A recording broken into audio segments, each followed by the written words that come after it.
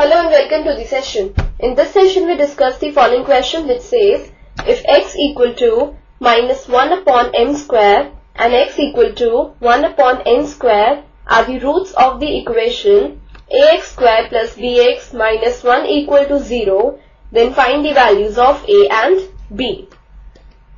So we are given one equation and we are given the roots of this equation. We have to find the values of a and b. Let's find out its solution now. The given equation is ax square plus bx minus 1 equal to 0. Let this be equation 1. Then it's given that x equal to minus 1 upon m square and x equal to 1 upon n square are the roots of equation 1. So this means that minus 1 upon n square and 1 upon n square satisfies the equation 1. So first we'll put the value of x as minus 1 upon n square in equation 1. So putting x equal to minus 1 upon m square in equation 1 we get a into minus 1 upon n square the whole square plus b into minus 1 upon n square minus 1 equal to 0.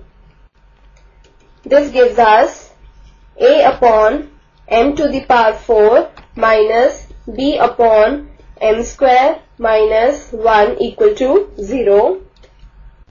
Now further taking LCM on the left hand side we get in the denominator n to the power 4. In the numerator we have a minus b into m square minus m to the power 4. This is equal to 0.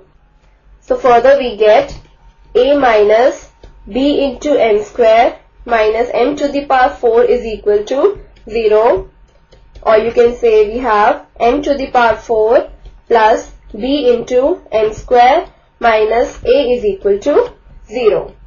Now let this be equation 2. Now next we'll put x equal to 1 upon n square in equation 1. So now putting x equal to 1 upon n square in equation 1 we get a into 1 upon n square the whole square plus b into 1 upon n square minus 1 equal to 0.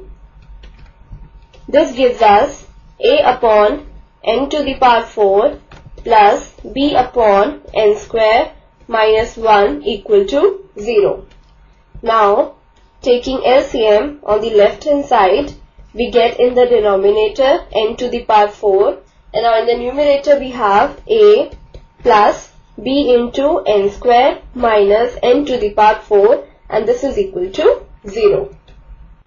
So further we would get a plus b into n square minus n to the power 4 is equal to 0. That is, we now have n to the power 4 minus b into n square minus a is equal to 0. Now let this be equation 3. So now we have got two equations n to the power 4 plus b into n square minus a is equal to 0 and n to the power 4 minus b into n square minus a is equal to 0.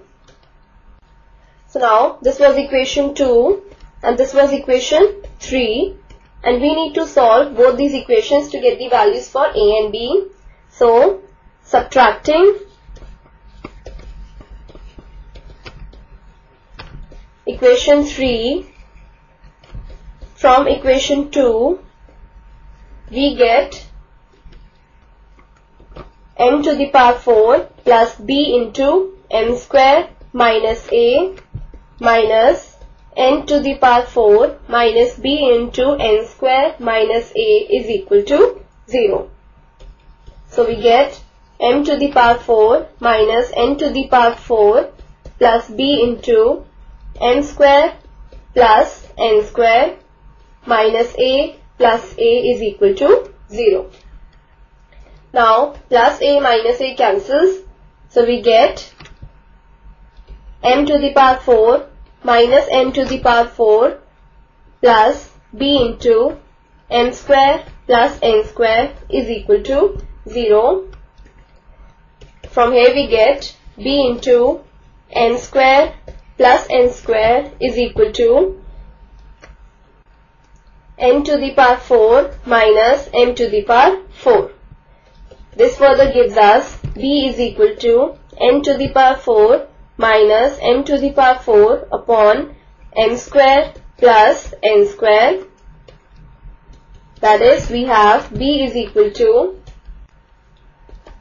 n square plus n square, this whole into n square minus m square and this whole upon n square plus n square n square plus n square cancels with this n square plus n square in the numerator.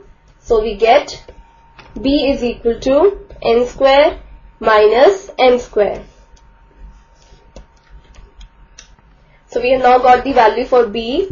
To get the value of a, we will substitute this value of b in equation 2 or 3. So now substituting the value of b in equation 2 we get m to the power 4 plus b that is n square minus n square into n square minus a is equal to 0. This gives us n to the power 4 plus n square n square minus m to the power 4 minus a is equal to 0. Now m to the power 4 and minus m to the power 4 cancels. So we get a is equal to m square n square. So we have now obtained the value of a also. Thus we get a is equal to m square n square and b is equal to n square minus n square. So this is our final answer. With this, we complete the session. Hope you have understood the solution of this question.